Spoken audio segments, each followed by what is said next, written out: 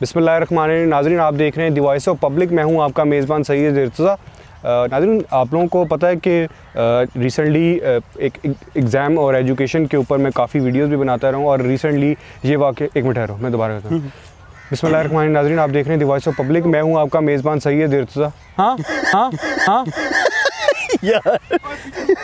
और यार वो गलत हो गए थे उसके कर रहा हूँ।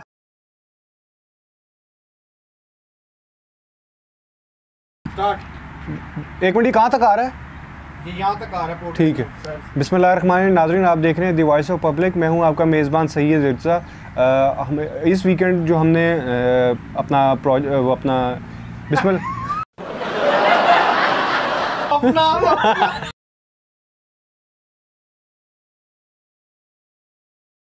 ये प्रोडक्ट ले लें और इस तरह की चीज़ें। ये सिर्फ़ इस तरह की अच्छा अगर देखा जाए तो अगर हम व्हाट्सएप नहीं यूज़ करते तो इसके बारे में आप क्या कहते हैं कि अगर व्हाट्सएप यूज़ करना चाहिए या नहीं करना चाहिए? क्योंकि अब प्राइवेसी पॉलिसी को लेके काफ़ी ज़्यादा इशू बन चुका है।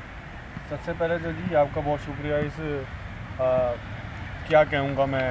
पहले मुँह से ना ऊँचा बोल।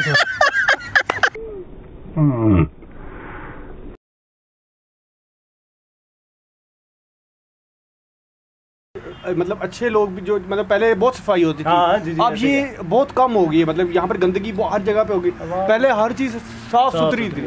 अच्छा इधर की अगर देखा जाए ना तो देखा जाए इधर कहीं मुझे डस्टबिन नज़र भी नहीं आ रही। वो ये टूटी हुई डस्ट- डस्टबिन लगी हुई है लेकिन डस्टबिन नहीं है। अब इसकी वजह ये है कि जो गरीब तबका है उठा के ले जाता है और जाके बेच हाँ, देते ये हैं। बात है। तो मतलब एक तो गुर्बत बहुत ज़्यादा हो रही है आहिस्ता आहिस्ता ये सारे टॉपिक आज ही डिस्कस कराएँगे देखिए अच्छा जो आपने बात की वो एक अलग टॉपिक है उस पर भी हमने पहले बात यहाँ वॉशरूम होना चाहिए कि बंदे को पखाना या जाए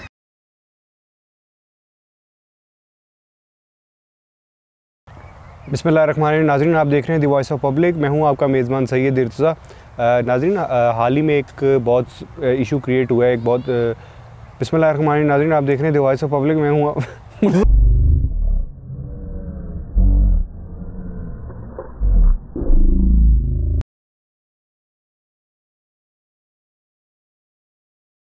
उन्होंने ये कहा है कि प्राइवेसी पॉलिसी की वजह से इन्होंने कहा आपको बार बार खांसी आती है?